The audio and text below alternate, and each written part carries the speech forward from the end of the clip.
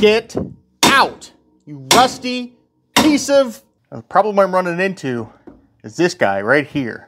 So is our torsion bar. It's stuck. It's frozen, won't come out.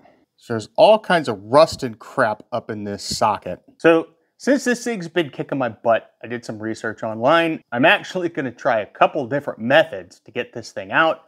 I'm gonna share them with you. So this first method is for those of you that don't have any rust or have recently done work on your suspension. We need to be under the hood for this. It's a whole lot easier because no engine. Now this nut right here is goes to the pivot for your lower control arm. Seriously! Airplanes. Right over the house. Don't hear them all day. As soon as I start recording, yerp. This nut right here is for your lower control arm pivot. Best thing to do is just back this off, leave it on a couple of threads, and if your torsion bar is not rusted into place, you can just give it a few taps.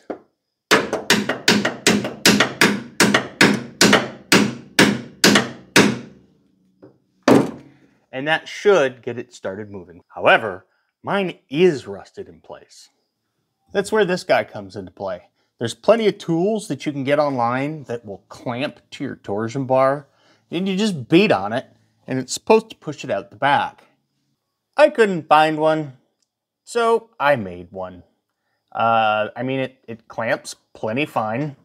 I move the whole car when I do this. I've been smacking the crap out of this thing, and all it does is just slide down the bar. Failure, failure, failure, failure, failure. Those are the things that I've tried so far. Done a little bit of research, got a couple more things that I could try before we get to the ultimate solution, which is cut off wheel and new torsion bars. Let's check it out. So the next item up for bids is the good old pry bar. So I'm gonna take that pry bar and I'm gonna run it right up here between the K-member and the lower control arm. I'm just gonna kind of wrench on it a little bit and see if we can't get this whole thing moving. Just take your pry bar, wedge it in there. I was being nice. I want you to be nice until it's time to not be nice. Yeah, that's a whole lot of nope.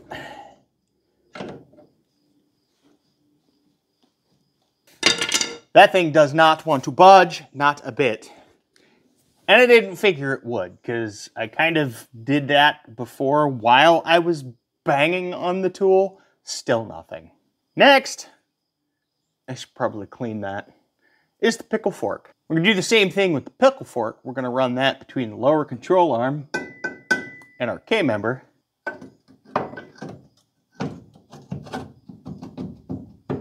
Let's see if we can get this moving.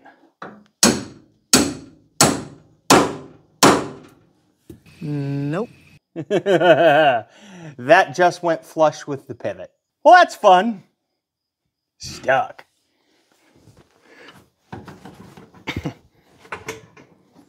Shh.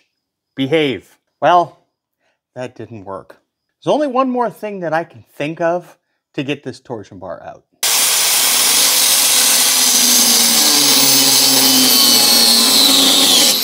I need to be very, very careful. My brake distribution block is right here. I've got brake lines right here, and it keeps kicking back.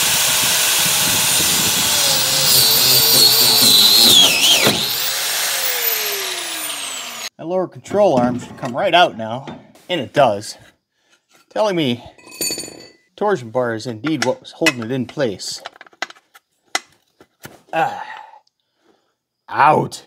This is going to be a whole bunch of fun for an entirely different video as well. So now I'm going to go ahead and get this tool off of here because I don't need it anymore. I got a nice flat surface to beat on. Oh, hey, that one came off. Oh, that's very round. Ooh, do not try to hold the end of that with your finger.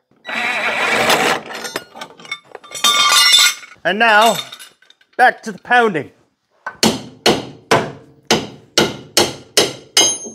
Look at that. One, two-piece torsion bar. Guess we're replacing them. So there it is, a couple of different ways that you can get your torsion bar out if it's stuck. A couple of lessons I learned on that is one, I need a bigger pickle fork. Two, probably need a bigger hammer too. If you stayed to the end, thank you for watching. I really appreciate it. We'll be back soon with the rest of the suspension. Bye, y'all. So this first, first, damn it. So this first, first, first method. So this first method. So this first method. Idiot.